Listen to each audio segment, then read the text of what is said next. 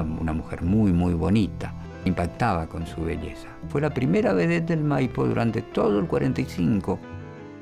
Es una mujer muy frágil, realmente frágil.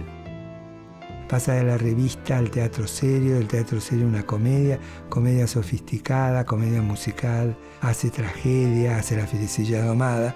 No eran esas mujeres que pasaban desapercibidas, eran una mujer con carácter siempre. La cercanía con el poder no creo que la haya hecho más popular, yo creo que ya era una actriz popular. Estar ligada con Eva, obviamente eh, su carrera se desarrolló mucho más. Porque esto tiene que ver con el mito de que ella de golpe, cuando conoce a Duarte, es obligada a que el público la acepte. No hay nada peor que le puedas hacer a un actor y a una estrella que no la nombren más, que no la llame más. Es como si la mataras en vida. Ahora soy la obrera que trabaja en la fábrica con un brillo de dicha ferviente en la mirada y yo soy el obrero que sin cesar trabaja por un pan más caliente que a todos nos alcanza. Mis días no se pierden entre el ruido de máquinas. Puedo vivir y amar como cualquier muchacha. Y si el amor aprieto entre mis manos ásperas, sé que tengo derecho al amor y a la gracia.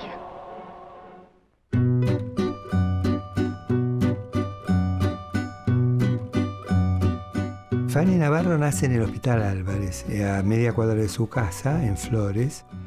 Fanny nació el 3 de marzo del 20 y fue la tercera hermana de cuatro, cuatro hermanas que tuvieron los padres. Después los papás se separan a los 10 años y su mamá reinicia su vida matrimonial con otro señor uruguayo.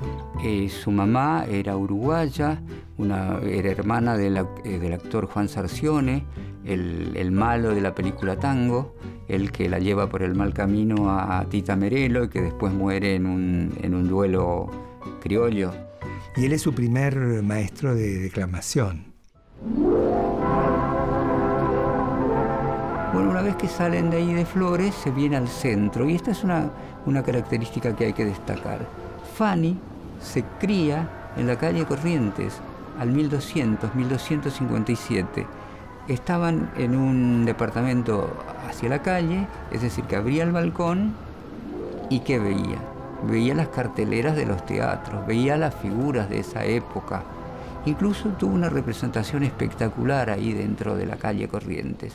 ¿Qué pasó? Era muy chica y se escapó de la casa. Y en un edificio de Corrientes y Paraná llegó, no se sabe cómo, encaramarse la cornisa. Se podía haber matado. Se paró el tráfico y tuvieron que venir los bomberos a rescatarla.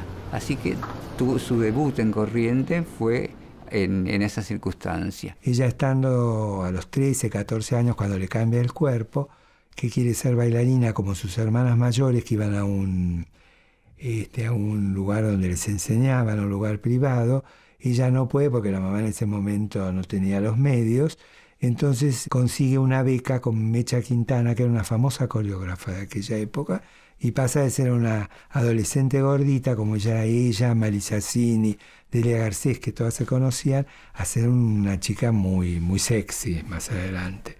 En ese momento se inaugura el Teatro Nacional de Comedia, el que conocemos como Cervantes, y la Quintana pasa a ser eh, vicedirectora. El director Antonio Cunil Cabanellas y desde el 36 Fanny y sus hermanas son alumnas de ese instituto de teatro, son alumnas de Cunil y de Mecha Quintana. Este, eso llevó a que empezaran a trabajar en las primeras obras que hizo la Comedia Nacional.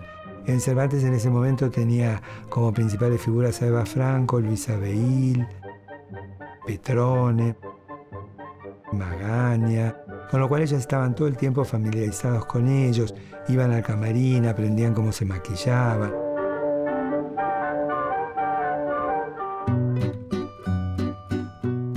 Esa época empieza eh, la actividad más industrial en el cine argentino. Es cuando de cuatro o cinco películas por año se pasan a 18, 22, 25. Eso hace que se necesiten muchos actores jóvenes y que muchas de las chicas sean tentadas para empezar a filmar. Y Moglia Bart la utiliza como extra en Melodías Porteñas, que es su primera película, y salen dos o tres fragmentos de la película. 40 pesos por mes. Y empiezo el año que viene. No está mal. Bueno, voy a cerrar.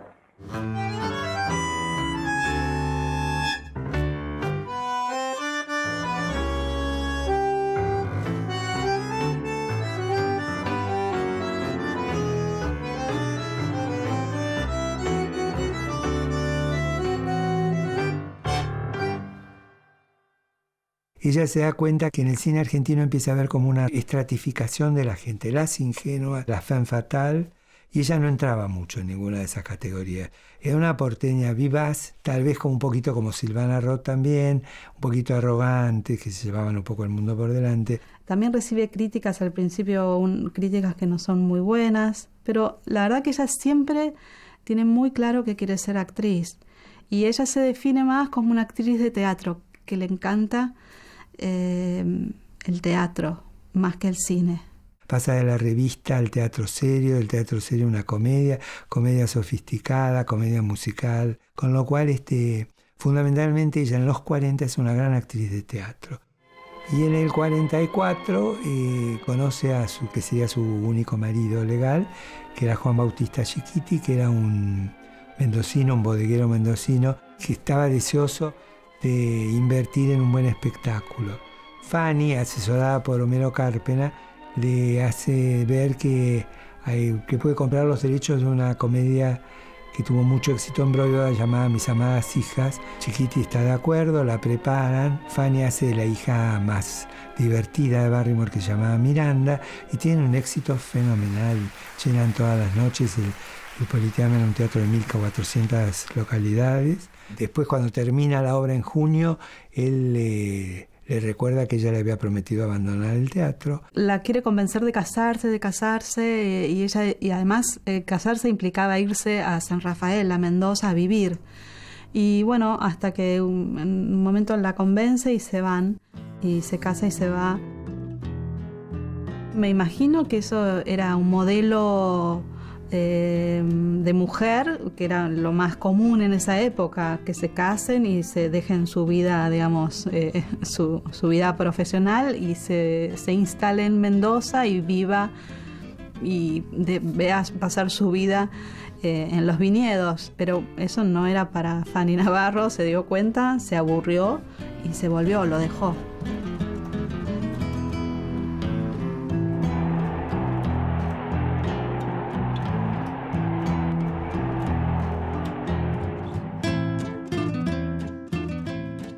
El 45, César Amadori la convence que debute como primera vedette en el Maipo y que trabaje en una película eh, en la que protagonizan López Lagar y Zully Moreno, que se llama Dos ángeles y un pecador.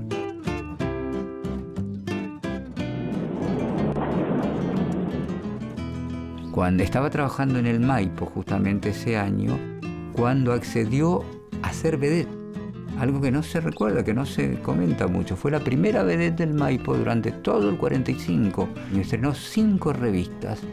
Y en esa, en esa temporada hace muchos pasos de comedia y uno de esos pasos, en una revista que se estrena el 8 de junio, Amadori rápido le puso, eh, que era el, propietario del teatro, le puso Está por cambiar la mano. Eh, Fanny la imita Evita, la parodia en ese momento, ese año ella entabla una relación con Divito, el famoso Divito de las chicas con una silueta muy marcada que estaban en la revista Ricotipo.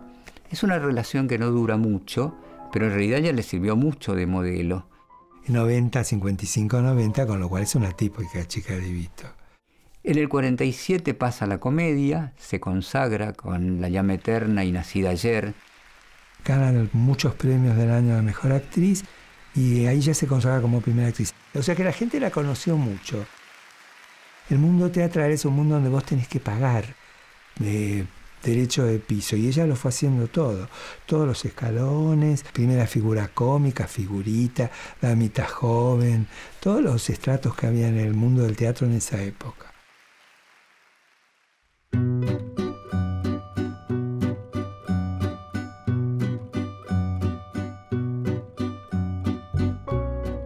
En 1948 está representando con Emma Gramática La Casa Sin Alma. Y una noche eh, cae al, al, teatro Juan Duarte. Pero ¿qué ocurre? Eh, Iris Marga la acercaba siempre a Fanny hasta su casa en auto. Eh, era una promesa que le había hecho a la madre y, y la cumplía todas las noches. Pero esa vez le hablan por teléfono y le dicen que van a ir a Paul y Juan Duarte a conversar con Iris Marga. Cuando Fanny conoce a Juan Duarte, Duarte era en ese momento secretario privado de la presidencia de la Nación. Y a Paul era el subsecretario de Informaciones y Prensa. Fanny le dice, bueno, yo me voy. No, no, no. Eh, le decía Grandota, no, Grandota, yo me voy, yo me voy a mi casa. Le dijo, no, yo le prometí una cosa a tu mamá, vos espérame en el auto. Vienen y la invitan a tomar un café. Y ella dice, no, yo la tengo que, que llevar a Fanny Navarro. Ah, bueno, que venga también. Eso se lo dice Juan Duarte. Pero qué casualidad, señorita. Al primer golpe de vista pensé, esta chica es artista. Artista no, espero serlo algún día. Pero tendrá que pasar tiempo. Años quizás. ¿Por qué años? Con un buen apoyo en las condiciones que usted dice tener. ¿No será el destino que me hizo conocerla?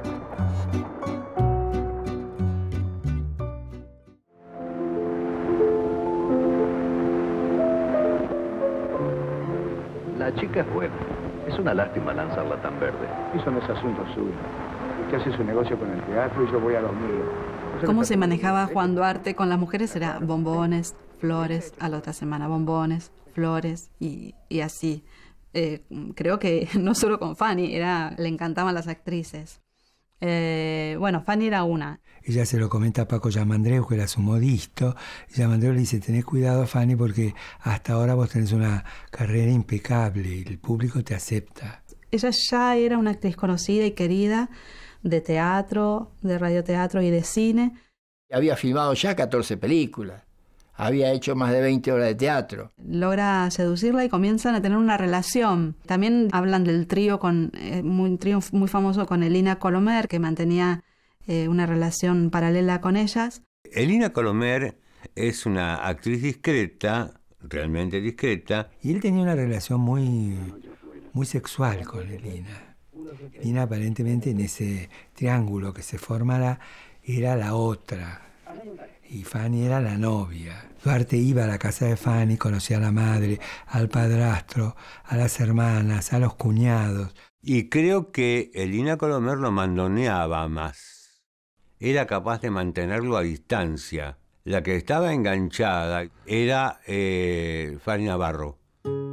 La relación de Juan con Fanny, o Fanny con Juan, fue una relación de, de, eh, de esos amores explosivos porque eh, a él eh, lo seguían todas las mujeres. Entonces, Fanny era mujer de mucho carácter, no era fácil, que era la relación como si fueran dos estrellas de cine, porque salían a un boliche, que ese momento era eh, Tibidabo, y bueno, imagínate, era todos los ojos puestos en ellos.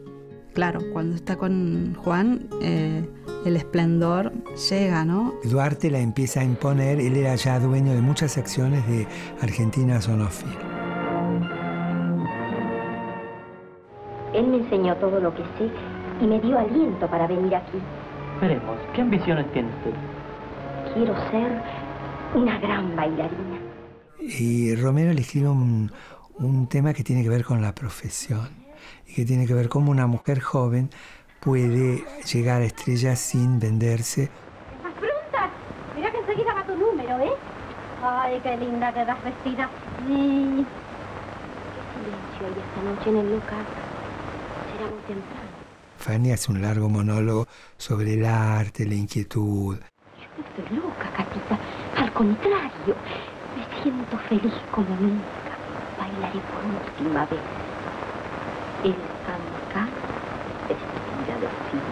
Romero logra en ese fragmento de la película, que es el final, eh, sintetizar muchas de las dudas y las angustias que siempre tuvo Fanny con su profesión desde que quería ser bailarina. Y a los fines prácticos, esa película que ella estaba haciendo se la había conseguido Duarte. Y durante el peronismo, indudablemente, logró protagónicos que antes no los había tenido. Cuidado con el primer cigarrillo. Es el que atrapa o deja. Ahora lo sé. ¿De verdad? ¿De verdad lo sabes? Pero no quiero decirlo. No quiero que me vean llorar los de casa.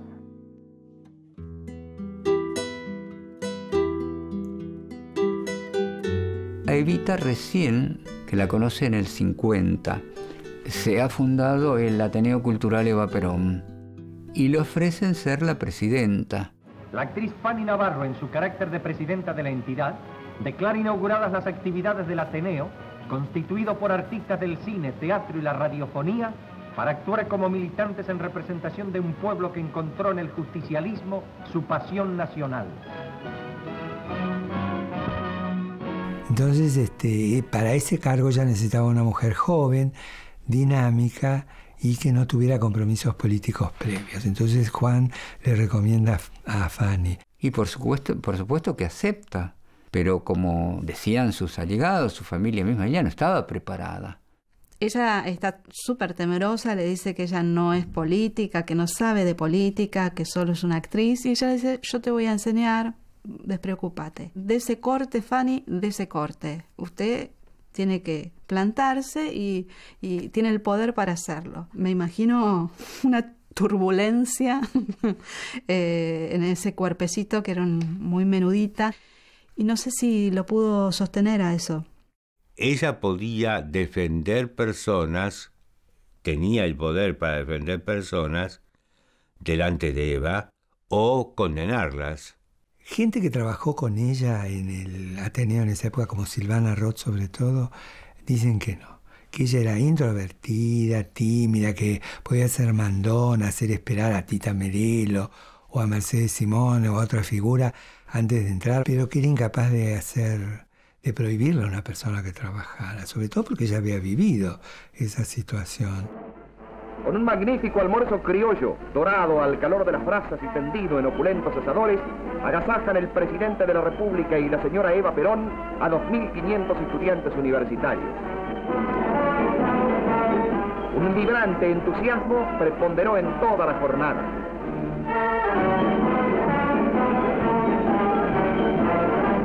La actriz Fanny Navarro recita un poema patriótico.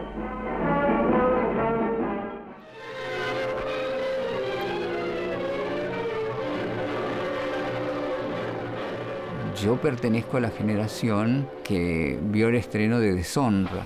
Toda la mañana en la cocina. Me dio un mareo. No es nada, ya se me... Vení, yo te ayudo. Vení. Y esa película es una película que conmovió a mucha gente que la recuerda, porque esa famosa escena del escape de Fanny por las cloacas de, de Buenos Aires era una cosa que impactaba. Es casi una metáfora de lo que va a ser su vida después, porque aparte de su carrera tuvo ribetes de, tragedia, ¿no? Ella tarda mucho, esa película tarda mucho en hacerse porque cuando, cuando Evita cae enferma y Fanny la acompaña mucho. Entonces Fanny llegaba tarde, muy tarde, y está mucho tiempo con Evita durante su larga agonía.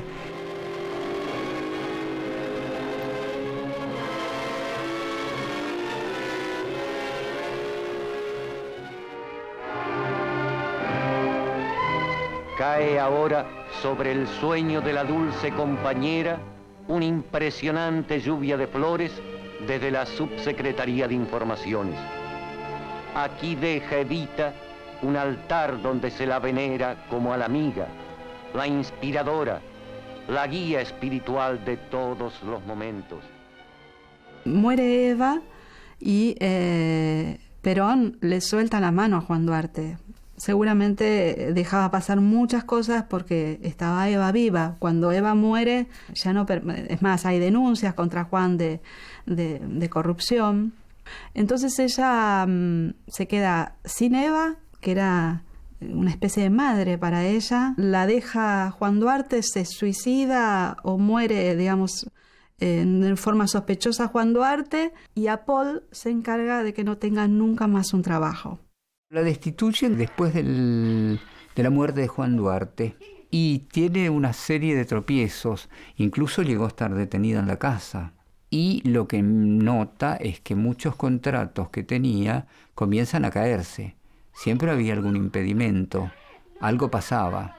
O sea, todo proyecto que con el nombre de va al Banco Industrial no es aprobado. El Grito Sagrado y Marta Ferrari, que son las dos películas que hace para asociados, con contratos que ya tenía firmado mucho antes. Bueno, ustedes van a perdonar al animador, pero tiene que hacerle el artículo a la casa. Yo lo único que voy a hacer aquí es cantar un tango. Ella ahí ya empieza a tener como una sensación de ah, paranoia como que la espían, hablan mal de ella. A utilizar el espejo, colocarlo donde en la mesa cuando se sentaba. Mirando hacia la puerta para poder mirar quién entraba, si la miraban o no la miraban. ¿Quién es? Aguirre. Adelante.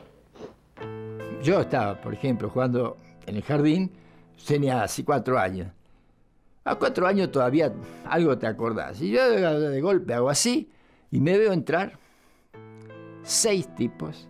Era la revolución libertadora. Entraba a la casa de Fanny. Terrible porque la llevó el famoso capitán Gandhi a hacerle un interrogatorio por la... La sentó, la tuvo cinco horas con una luz pidiéndole que le diga qué negocios había hecho o había escuchado.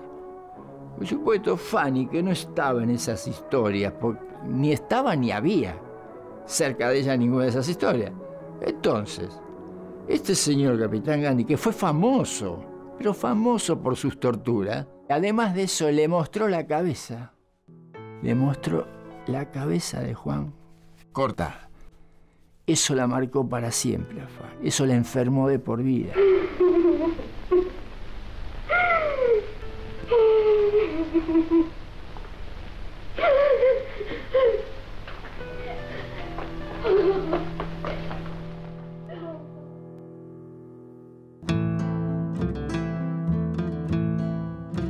58, cuando está por asumir Arturo Frondizi, eh, una de las primeras medidas de Frondizi por el pacto que tenía con Perón es sacar del freezer a todos los perseguidos políticos. Y entonces ella puede retomar su carrera y hace dos números musicales y un sketch en esa revista en la que encabezaba con Alicia Márquez y Nerida Roca. Lo que le espera excelencia se llamaba. Es una de las últimas representaciones que hace ella en el teatro, que creo que está, e incluso tiene que estar vestida de arlequín, de, payaso. Cuando sale ella, sorpresa de todos, la ovacionan, todo el mundo la, la aplaude, se para de pie para aplaudirla porque era la vuelta de ella después de tantos años.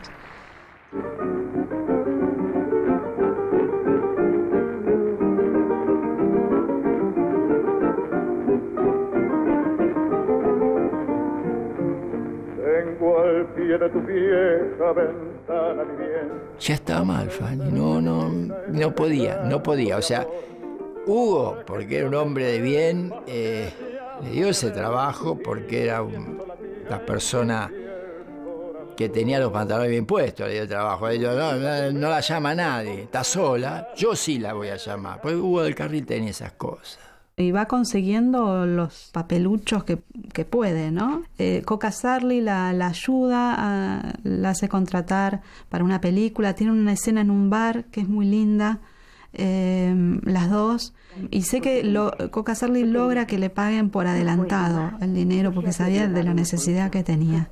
Sí, todo a la vez, empleada y amante. Es terrible. Todos quieren lo mismo y te vas a suicidar por eso. Lo haría de buena gana. Y después de esto no hay contratos, o sea, el resto de la... En el año 70 ella está prácticamente enclaustrada en su casa y ahí sí toma mucho whisky.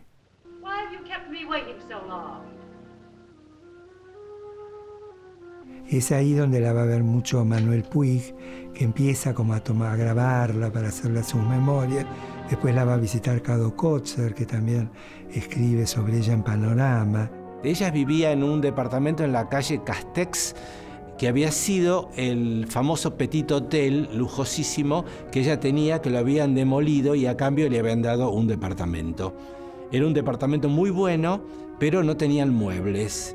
Fumaba como loca, todo el tiempo un cigarrillo tras otro, muy nerviosa.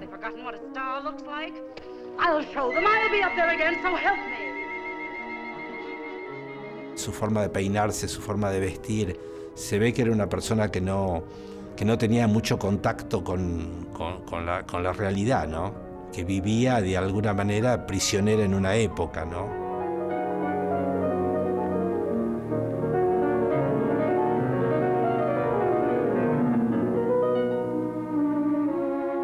En los últimos años vivía a, whisky y cigarrillos, digo, se alimentaba muy mal y estaba muy, flaquita. Eh, la, tristeza la consumió, supongo. Se fue consumiendo, sí.